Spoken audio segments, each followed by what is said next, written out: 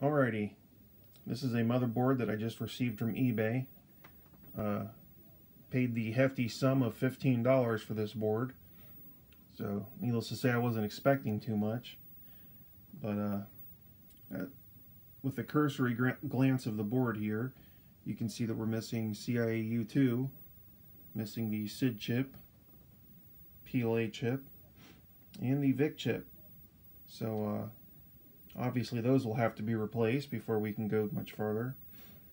And another thing, uh, you can see these two little diodes here. Uh, that's part of a factory fix, so that's to be expected. We have some Fairchild memory chips. Or Fujitsu, I can't remember. I think it might be Fujitsu anyways. These chips right here throw up an immediate red flag. Uh, these are small MOS logic chips. Now, uh, anybody who's done any work in Commodore motherboards before knows that these MOS logic chips have terrible track records. Uh, very, very often you'll find that the memory multiplexers right here, which is a U25 and U13, have been, have failed, um, and quite often you'll find one of these two or more failed as well. Uh, it's so bad that whenever I find these small MOS logic chips in a Commodore 64 board, I pretty much universally replace them whether they're still working or not. Uh, it's just not worth leaving them in a board because their track record is so bad. Um, the other thing about those chips too is they seem to consume a lot more current than a standard LS part from another manufacturer. You can put your finger on them and actually feel the heat being generated by the chip uh, so that tells me, you know, even if the chip still works, it's just sitting there burning power for no real apparent reason.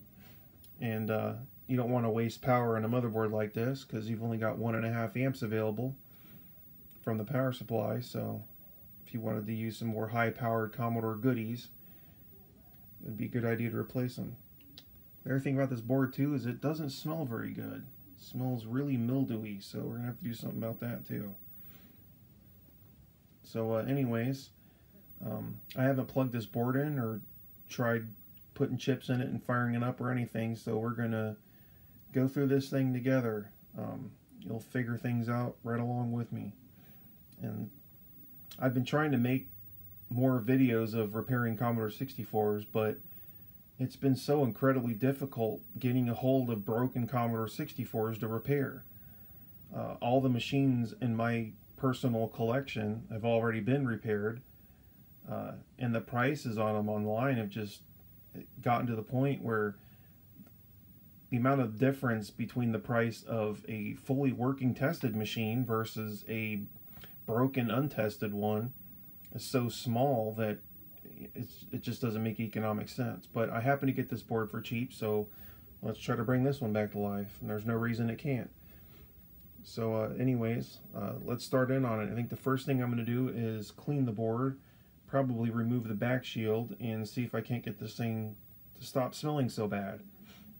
Uh, I suspect the main culprit is the paper backing shield, because uh, in between the shield and the rear of it, this thing here is actually a paper separator. You can actually see part of it poking out right there. So uh, we'll get that off. I have a couple different shields I can put back on this thing, so hose the board down with some sort of chemical or solvent, and that should probably take care of the smell quite a bit. Alrighty then, well let's continue on and see what we find. I have the board clean now. I just uh, hosed it down with some isopropyl alcohol. Uh, you want the strongest percentage you can find. I think I was using 91%. It evaporates pretty quickly. And uh, remove the back shield as you can tell. And from uh, examining the back of the board, it doesn't look like this has had any work performed on it, which is a good thing because that means uh, you don't have to go back and repair someone else's botched previous repair attempt. So anyways, let's uh, get into this thing and stick some chips, chips into it and uh, see what we get. Alright, I have the board populated with some chips. Got a CIA, PLA, and a VIC chip put into it. Um, right now, I I usually don't populate the SID chip on boards that uh, I have no idea about. Uh, those usually get put in at the last moment because, uh, as you well know, SID chips are valuable and precious. but uh, right now I only have the video connector and power hooked up. So let's go ahead and flip the power switch for the very first time and see what happens. Alright.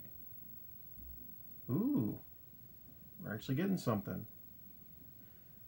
So as you can see, we had an NTSC signal, which that tells me the 8701 clock chip is good, which that's uh, that's definitely a bonus. Oh, this is interesting. You can actually see the uh, characters coming in. this is definitely neat. This is not a failure I've ever exactly seen before. Especially with the 00000 bytes free. That is even more interesting. This leads me to believe it might be the character ROM chip that's causing this issue. The other thing is too, is you can see as it's warming up, uh, it's actually getting better. This is pretty interesting.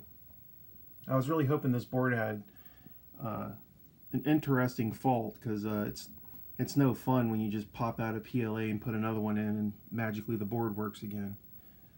So uh, now that it's been on for a minute, that is something else. Well, it's cleared up now, so uh, let's do the, the easy things first and test these ROM chips. And uh, we'll kind of go from there. Uh, right now, I'm not going to play with any logic probes or oscilloscopes or anything because, to be honest with you, the vast majority of Commodore 64 repairs, when you know what to look for, don't require any of those tools. And that's a bonus for people that are getting into this uh, that don't happen to have, you know, a whole bunch of extra tools on hand. You know, with a decent soldering iron, a desoldering pump, you can get a, a long ways on repairing Commodore 64s. So, uh, anyways, let's try out a couple of these chips and uh, start working our way through the board. Alright, I have my chip testing board it's uh, hooked up and everything. I have the character ROM from this board extracted, placed in my chip testing board. So we're going to go through these ROMs one by one and uh, see what we get. Well, uh, that looks pretty good to me. I'd say that ROM's okay. Alrighty, seems like I may have been led down the wrong path. Let me show you what I've just discovered playing with the board. I went ahead and pulled all of the ROM chips, tested them in the chip testing board. They were fine. The reason why I suspected this character ROM is I have seen a couple fail and give you a similar pattern, exactly like was shown when I first started the board up. So anyways, I was going around and pressing on the board and things to see if there was some sort of a short or something, because that's always a good thing to do and uh, this is what I discovered.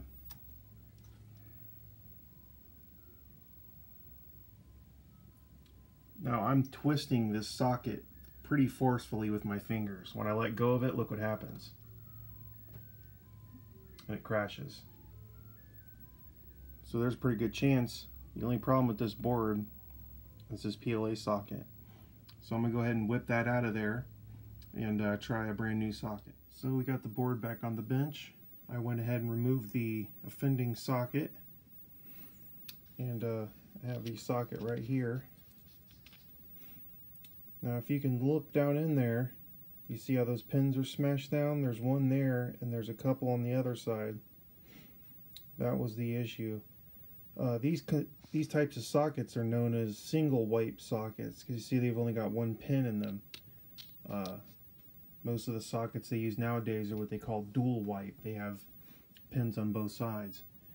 And that's what I've installed there. So uh, anyways, let's go ahead and fire this up and I'll show you that it's working now. And there's Easy Flash 3. Uh, so far, board looks like it's uh, working okay. There's the uh, good old Ghost and Goblins.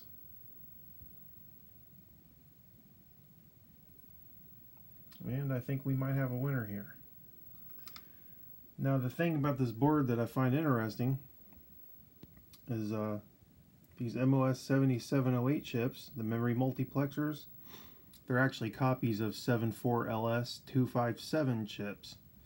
uh, those are actually in working condition, which is kind of amazing because I see a failure rate of at least 50% or higher on these chips. So uh, before I call this one done, I might actually remove those install sockets and uh, put a set of 257 chips like this in their place. Since I have quite a lot of 257 memory multiplexers laying around. I clean up the board a little more, so anyways, uh, I'm going to throw the diagnostic test harness on this thing and make sure everything is working as it should, and uh, I'll probably call this one good. So just a second, and I'll get the harness on. Alright, as you can see, I have the diagnostic test harness installed. So let's go ahead and turn on the board and see what we get. Now earlier in the video, um, I was kind of excited to see the fault that this board was presenting because I thought maybe it would be something interesting to repair because I do remember saying, oh, it's kind of boring when all you have to do is replace a PLA and the board magically starts working again. Uh, in this case, doesn't seem to have been a PLA, but uh, it actually was the socket. But that's just one of those things you really gotta, you know, use your eyes and use your brain and see what's going on. Because one thing I always tell myself, oh, control port bad. Well, there's a good reason why, missing a SID chip. So I think what I'm going to do now is uh, stick a SID chip in this thing. A, uh, I have a test SID chip that I use that doesn't sound the greatest, but it still works fine. And I'll put that in there. Uh, like I said, I don't stick good SID chips in boards like this until I know they're 100% okay. Uh, it's just one of those paranoia things. You know, SID chips being worth as much money as they are now, uh, I'd like to keep all the working ones I have in working condition. So let me put a SID chip in this board and uh, we'll see how right, it works. We have a SID chip installed. Let's go ahead and turn it on. As I was saying earlier, a uh, sort of a motto I have when I'm repairing Commodore 64s is that if you have all of your voltages present, you know you have a, a known good working set of chips in the board and all of the connections are being properly made. You know there's no bad traces or anything like that. Uh, the board pretty much has to work you know? It's it's simple physics. Um, I've come across some really difficult to track down faults before and you know a lot of times I'll get kind of sent down the wrong paths kind of similar to how this board was initially. Uh, but every once in a while, you kind of have to stop and take a breather and, you know, see what you've done and what you've checked so far and, you know, see the things that you can rule out. So anyways, with a minimal amount of work, we got this $15 eBay board running again. So anyways, that was my video. and uh, thank you for watching. And I'll try to come back with some more interesting videos as, as time goes on. Uh, but like I said, it's getting really difficult finding broken machines to actually repair to show on the channel. So uh, hopefully we can do something about that in the future. But I'm planning on some more content and uh, I'll be back with a new video soon, I hope. Anyways, thanks for watching.